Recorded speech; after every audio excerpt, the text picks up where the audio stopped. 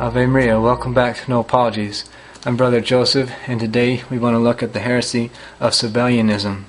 Sabellius was a priest of the early 3rd century who taught that the Father, Son, and Holy Spirit were not distinct persons in the Trinity. There was only one God, but this one God simply manifested himself or appeared in different modes or offices.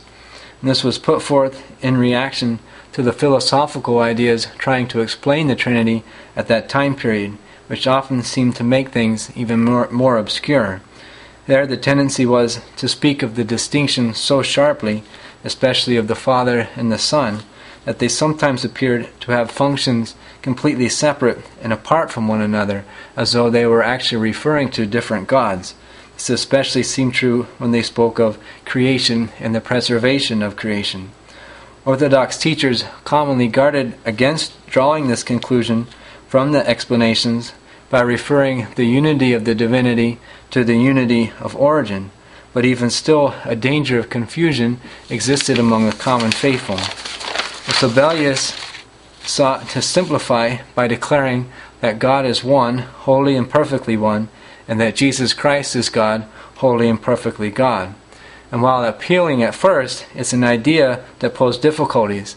To say that God is one, in their sense, is also to say that the Father is able to suffer and die, and in fact did suffer and die, and that the Father now sits at his own right hand.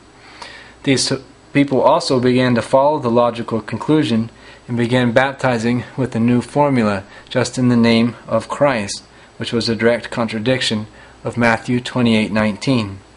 So when Sabellianism was held up to the creed and to the traditional formulas and prayers which existed at that time, its face was revealed not as the newly found proper articulation of tradition, but as a complete break from tradition. And it was this break which defenders of orthodoxy used to combat it. Now, Sabellianism is still alive today in the form of Unitarianism within the Protestant Reformation.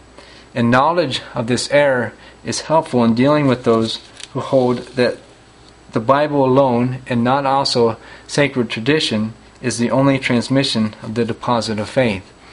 We recall that there are things which Jesus did and said which weren't written down, as St. John testifies in his Gospel, chapter 21, verse 25.